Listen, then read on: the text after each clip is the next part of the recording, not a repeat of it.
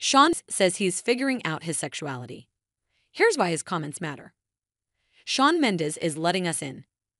The singer talked about his sexuality at a concert Monday night, an oft discussed topic among fans, casual onlookers, and many members of the LGBTQ community.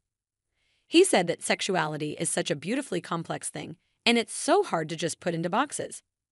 Mendes went on, It always felt like such an intrusion on something very personal to me. Something that I was figuring out in myself, something that I had yet to discover and still have yet to discover. The real truth about my life and my sexuality is that, man, I'm just figuring it out like everyone. I don't really know sometimes, and I know other times. And it feels really scary because we live in a society that has a lot to say about that. And I'm trying to be really brave and just allow myself to be a human and feel things. And that's all I really want to say about that for now. Celebrities regularly face speculation about their sexuality. Kit Connor, Ariana Grande, Taylor Swift, to name a few. But should they, especially when they're still figuring it out like everyone?